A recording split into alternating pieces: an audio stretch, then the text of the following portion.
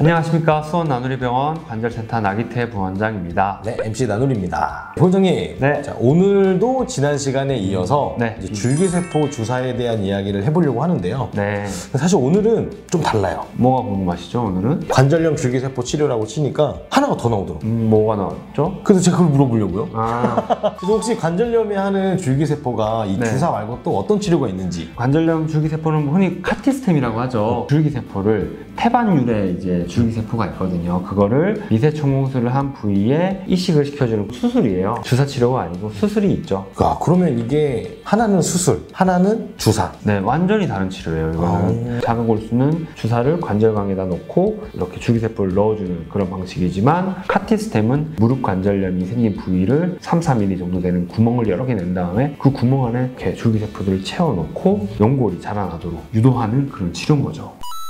이게 회복 기간이든 뭐든 뭐 다 다를 것 같아요. 일단 자가골수 줄기세포 주사 치료는 바로 다음 날부터 일상생활이 가능하고요. 카티스템이라고 하는 치료는 6주에서 8주가 목발을 짚어야 돼요. 그 기간 동안 6에서 8주 동안 뼈에다 구멍 뚫어 놓은 데서 연골이 자라 나올 때까지 체중 부하를 금지시켜요. 그래서 목발을 써야 되고 그 이후에도 통증이 좋아지는데 시간이 좀 오래 걸리긴 하죠. 입원 기간도 완전 다르죠. 비맥 같은 경우는 1박 2일 정도인데 카티스템은 빨라야 그래도 3박 4일 이상 입원을 하거든요.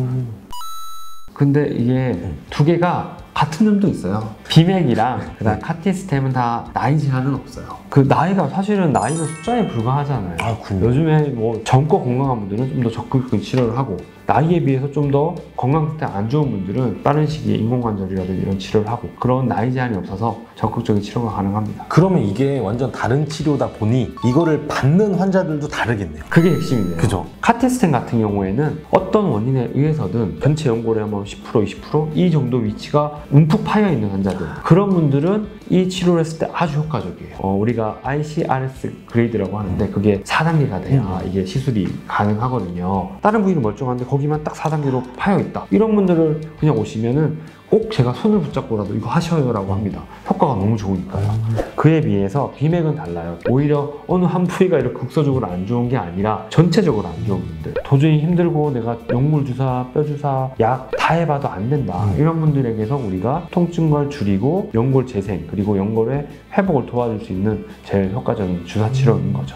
그러면은 이 비맥 치료는 네. 아까 전에 그 카티스템 치료하실 때 그 grade를 아. 말씀해 주셨는데 네. 혹시 이 BMAC은 grade가 BMAC 같은 경우에는 3, 4단계에 해당하는 연골의 전체 두께에서 50% 이상 손상됐을 때부터 음. 치료가 가능하다. 어, 그 생각보다 혹할 수도 있겠네요. 그냥 혹할 만하죠, 진짜. 그죠. 네. 오늘은 저희 나기태 보원장님과 함께 무릎 관절염의 줄기세포 치료들 대표적인 줄기세포 이식술, 자가골수 줄기세포 주사 이 두 개의 좀 차이점에 대해서 한번 알아봤습니다. 네. 혹시 궁금한 점이 있으면 댓글로 언제든지 문의 주시고요. 그렇다면 친절하게 답변 드리겠습니다. 네 오늘 정보가 유익하셨다면 구독과 좋아요. 알림 설정까지 건강하세요.